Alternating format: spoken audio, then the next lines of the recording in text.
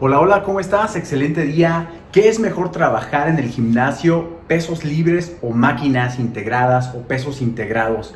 Es una de las preguntas más frecuentes que me hacen las personas que van iniciando el gimnasio, aunque en este momento estemos de cuarentena, estemos guardaditos en casa, pero es importante saberlo para cuando retomemos las actividades cotidianas en el gimnasio. Entonces vamos a empezar a mencionar los pros de cada uno de estos eh, aparatos o estas modalidades de, entrenamiento. Por ejemplo, los pesos libres se recomiendan ya una vez que se tenga una base eh, de entrenamiento, ya que se tenga cierto tiempo en el gimnasio. ¿Cuánto tiempo? Pues el proceso de adaptación que normalmente es de un mes a tres meses, aunque nunca o por lo regular nunca se prescribe tres meses de adaptación, generalmente son tres semanas, un mes de adaptación. ¿Qué quiere decir adaptación anatómica? Que vamos a trabajar todos los grupos musculares para obviamente eh, pues que empiecen a ocurrir adaptaciones como la coordinación, la coordinación motriz o neuromuscular. Entonces es bien importante eh, tener eh, este equilibrio que se conoce específicamente como conciencia postural. ¿Qué es esto de conciencia postural? Por ejemplo, si yo estoy haciendo en este momento un curl de bíceps, no tengo la misma estabilidad, no tengo la conciencia de, hacer este movimiento, esta ejecución, si yo nunca lo he ejecutado antes, ya que no es una actividad o un, movimiento o una contracción eh, que normalmente hagamos, a menos que te dediques eh, a cargar cajas, a, mover eh, pesos pesados como tal, pero de ahí en fuera simplemente son, son cosas livianas las que venimos manejando. Entonces, movimientos eh, que no estamos acostumbrados a trabajarlos y, ponemos peso elevado, esto puede provocarnos obviamente mareos, nos puede provocar eh, accidentes, que se nos caiga, que nos estemos eh, volteando, ladeando, perdiendo el equilibrio. Entonces esto se va a traducir a largo plazo, en un, bueno, en un corto plazo si no se tiene una asesoría adecuada, la lesión y si, si, si se lleva o se extiende mucho tiempo este, pues esta mala ejecución del ejercicio, pues se gestiona la lesión, ¿no? Es donde empieza ya la, la molestia ligera hasta que se traduce en una lesión mayor. Entonces hablamos de conciencia postural que te lo da en este caso las, las máquinas eh, o los pesos integrados o las máquinas como tal, propiamente dichas. Esto nos va a ayudar a tener una conciencia y a un involucramiento de nuestra mente, eh, mente-músculo o conexión neuromuscular, la cual es base y es importante para iniciar el, proceso o iniciar el, el, acercamiento o la adaptación con pesas o trabajo de fuerza eh, propiamente dicho. ¿sí? Entonces, es mejor trabajar al inicio con la mayoría de, aparatos o planificar una rutina con máquinas. Sin embargo, podrán decirme los más avanzados o los intermedios, Rodo, lo que pasa es que es mucho mejor o son superiores eh, los pesos libres a las máquinas. Obviamente, y te doy toda la razón. Aquí lo que estamos analizando es para alguien que va iniciando, lo mejor es que tenga y que se crea esta conciencia postural eh, y obviamente también la, limitación del recorrido nos permite trabajar de manera segura. Un ejemplo muy, muy concreto, ya ven que me gusta poner, hablar la parte técnica y obviamente lo más, lo más claro que se pueda siempre. Si vamos a hacer un ejercicio de sentadilla, que alguien, eh, en alguien que nunca haya hecho una sentadilla con peso, aunque el peso sea el de la barra únicamente, si hablamos de una eh, máquina, la máquina Smith, por ejemplo, entonces es la que tiene unos carriles, unas guías a los lados. Eh, tienes que liberarla, la pones en la parte posterior y haces obviamente el, movimiento de sentadilla. Haces el, descenso, la contracción y elevas. Entonces una persona que no está habituada a hacer ejercicio y la pones a hacer sentadillas de manera libre, sentadilla libre, aunque no tenga nada de peso, obviamente pierde el equilibrio y no es puede lastimarse, puede lesionarse, además de que si empezamos con la sentadilla libre, pues son eh, ejercicios que requieren de una técnica pues muy, muy avanzada, muy especializada para poderla dominar, al igual que las dominadas, donde sujetas eh, la parte de, la parte de arriba, el tubo, y donde tú tienes que hacer, pues ahora sí, el, movimiento para trabajar los músculos de la espalda principalmente. Entonces, lo recomendado es trabajar en personas que van eh, iniciando, la mayor parte para crear esta conciencia postural y un mayor equilibrio, un balance muscular, eh, lo que son este, máquinas como tal. Y después, ya que pasemos la etapa o el periodo de adaptación anatómica, que normalmente podemos llevarla a un mes, dos meses, ya en el segundo o tercer mes que empezamos, eh, ahora sí con la planificación, si vas a empezar con un periodo, por ejemplo, de, de fuerza máxima, entonces aquí ya podemos empezar a trabajar con, pesos libres y podemos empezar a trabajar con máquinas. La mejor es la combinación, no quiere decir que uno sea mejor que otro. Generalmente las pesas, eh, perdón, las máquinas como tal, eh, las utilizamos mucho para aislar los músculos. Entonces, no tanto, porque muchos dirían, bueno, pues si ya los avanzados, ¿por qué utilizan máquinas y ya son personas eh, culturistas que vemos ya en Mister Olimpia y utilizando aún máquinas? ¿Por qué hacerlo, no?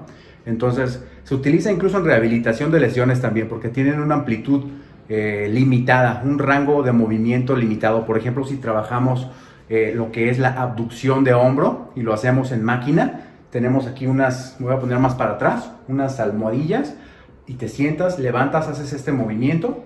Entonces el recorrido está limitado y eso te permite, pues obviamente, focalizar más el trabajo o que la incidencia ocurra en el músculo, en este caso en la parte eh, lateral del hombro, en, las porciones laterales, las tres porciones, y esto nos ayuda pues obviamente a focalizar, aunque esto te lo digo de manera, de manera general, focalizar, porque ya más adelantito les quiero platicar en otra transmisión específicamente sobre los músculos eh, multiarticulares y los eh, músculos o los ejercicios articulares, porque te quiero platicar más adelante de los porque te quiero platicar más adelante de los ejercicios multiarticulares y de los ejercicios monoarticulares donde se involucran eh, pues varias articulaciones como el nombre lo dice y varios grupos musculares.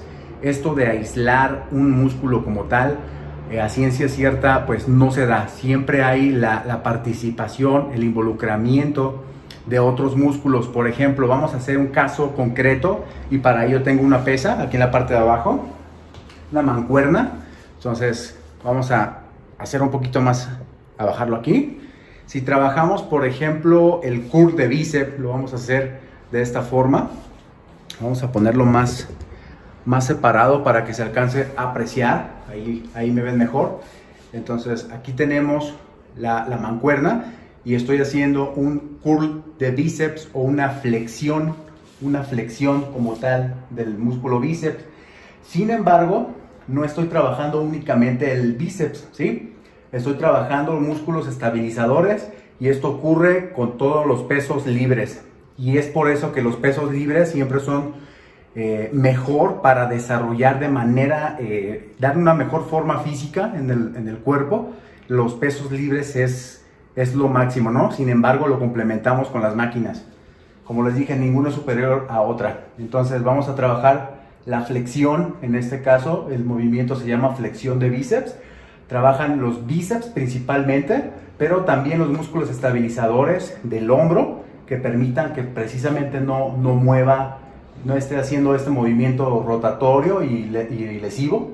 Vamos a hacer este movimiento, estos, músculos junto con los hombros y junto con la espalda me permite mantener, eh, pues ahora sí en estática el, el movimiento, ¿sí? Y bueno, van a trabajar otros músculos también, además del bíceps, que es el que está teniendo la incidencia en este caso para hacer el curl de bíceps precisamente con mancuerna a una mano. Pero también van a trabajar eh, músculos como el córaco braquial y también va a trabajar el braquial anterior, que son porciones que están insertadas en el húmero y que son músculos sinergistas y vienen a, ayudarnos a hacer la flexión como tal. Entonces, aislar únicamente el bíceps, pues no es eh, a ciencia cierta una verdad. Sí lo puedes trabajar con mayor incidencia, con mayor eh, enfoque, pero siempre va a haber la presencia de otros músculos que se están involucrando y esto nos ayuda bastante, obviamente, los eh, eh, aparatos libres, obviamente, que no tengan máquinas guiadas como la sentadilla libre o como trabajar los curl de bíceps o el banco Scott, todo lo que es libre nos ayuda a mejor, darnos una mejor forma física, ¿sí? Ya que mejore la conexión mente-músculo, ¿sí? Entonces, músculos antagonistas en este caso, que son los músculos que no están trabajando y que se relajan al momento de que su, su opuesto hace una contracción, que realmente tiene una, una participación pasiva, no está del todo eh, en reposo, pero para términos prácticos y no meternos en tanto, está relajado. Hacemos la contracción de bíceps, el bíceps es el que está contraído y el tríceps, en este caso es el músculo eh, contrario o antagonista. Mientras este se contrae, este se relaja. Entonces estamos hablando ya aquí de músculos em, estabilizadores, el músculo principal, que es el que está trabajando, que está siendo el movimiento, el agonista, eh, antagonista, y pues obviamente los músculos complementarios o los músculos sinergistas. Entonces si se fijan, pues es toda una cadena de, trabajo de músculos que se agrupan y da mejor forma física, lo vuelvo a repetir, los ejercicios de eh, pesos, pesos libres. ¿Por qué trabajar? Nuevamente vamos a retomarlo. Voy a dejar la pesa aquí abajo para no estar sudando, de por sí está un poquito el solecito. Bueno, ¿por qué trabajar entonces una combinación? Entonces, si vas a iniciar y vas a retomar ahora que pasa esta cuarentena eh, en el gimnasio, pues necesitas tomar en cuenta que no estuviste, digo, si no estuviste entrenando en gimnasio en este tiempo de cuarentena, pues tener cuidado de retomar, eh, no de manera indiscriminada, eh, pesos excesivos. Combina lo que son ejercicios de máquinas con pesos libres. Eso te va a permitir nuevamente crear esta conciencia postural, un mejor balance, un mejor equilibrio y obviamente a nivel corporal tener un cuerpo eh, físicamente más estético ya que hay un desarrollo más complementario.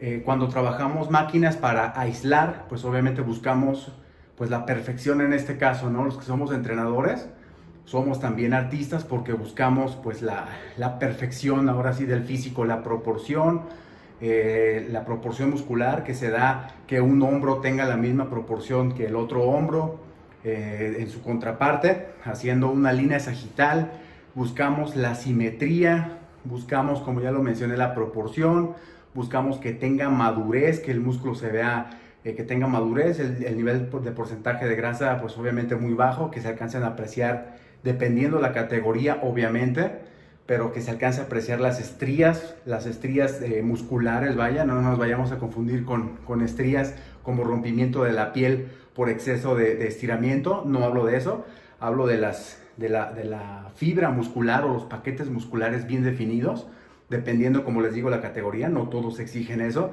pero es lo que buscamos los nutriólogos y que somos eh, propiamente más entrenadores personalizados y buscamos esta, pues ahora sí, esta, esta belleza, ¿no? En cada, en cada uno de nosotros, en cada uno de nuestros atletas para buscar la mejor forma física. Entonces, si tienes alguna duda, puedes dejarme todos aquí abajo en la caja de comentarios. Espero te haya servido. Más adelante vamos a estar abordando, como te dije, de los músculos. Y es, es muchísima información, pero la vamos a estar desmenuzando como ahora de manera muy práctica. ¿Qué ejercicios son mejores? Vamos a hablar de ejercicios para glúteo. Vamos a, hablar este de, tipos de, somatotipo, dependiendo qué tipos de ejercicios les ayuda, dependiendo la, la complexión muscular y de qué forma, qué metodología. No hay un solo método para entrenar eso es una de las cosas que escuchamos, eh, a veces hasta con marketing, ¿no? El mejor método de entrenamiento que existe. Obviamente hay muchísimos métodos de entrenamiento, formas de entrenar y esto se tiene que, como siempre, individualizar, contextualizar para poder obviamente obtener el mejor resultado dependiendo de tu tipo de cuerpo y dependiendo de todos los factores que se necesiten, el tiempo que tengas de entrenar, el nivel de acondicionamiento, si estás utilizando fármacos, es decir, si has competido, si no quieres competir, solamente tener un cuerpo estético, va a depender de, muchos factores pues, para lograr tu mejor forma física. Pero bueno, con esto espero que te haya servido la información. Nos vemos pronto. Hasta la próxima. Saludos, Rodo Cuadra. Gracias.